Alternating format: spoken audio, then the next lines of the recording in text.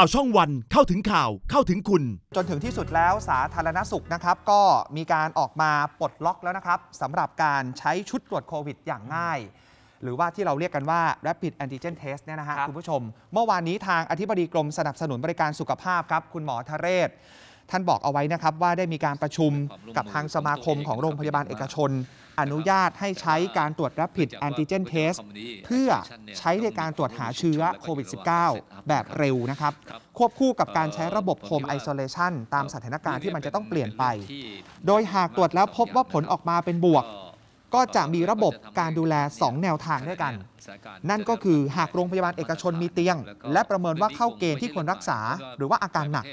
ก็จะต้องหาเตียงรองรับผู้ป่วย 2. หากเป็นผู้ป่วยที่แข็งแรงดีไม่มีอาการ หรือว่าอยู่ในกลุ่มผู้ป่วยสีเขียว ก็จะให้แยกกักตัวอยู่ที่บ้านทันทีนะครับ โดยได้รับความยินยอมแล้วก็สมัครใจจากผู้ติดเชื้อด้วย ลองฟังเพิ่มเติมจากคุณหมอดูฮะ ประชาชนมีความประสงค์จะตรวจนะครับ ก็สามารถให้ตรวจเรื่องของ lab นะครับ จะเป็น RT-PCR หรือ antigen rapid test ก็ได้นะครับ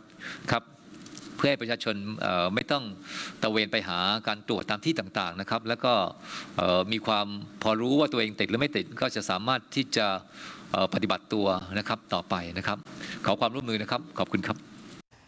ในขณะที่อธิบดีกรมการแพทย์ครับ คุณหมอสมศักดิ์อัคสินนะครับ ท่านก็ยอมรับว่าผู้ป่วยที่เพิ่มจำนวนขึ้นอย่างต่อเนื่องทำให้ตอนนี้ เตียงไม่พอที่จะรองรับผู้ป่วย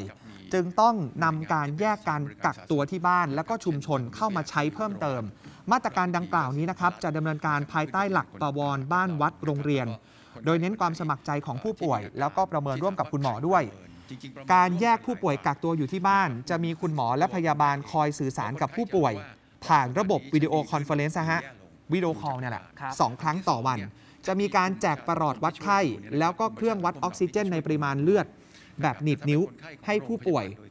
วัดปริมาณแล้วก็ตรวจสอบตัวเองที่บ้าน ส่วนกรณีการแยกกักตัวในชุมชน ก็จะมีภาคประชาสังคม อาสาสมัครร่วมประเมินอยู่ด้วยนะครับ ขณะนี้กำลังเร่งทำหลักเกณฑ์ค่าใช้จ่ายในการแยกกักตัวที่บ้าน เพื่อไม่ให้เป็นภาระของพี่น้องประชาชน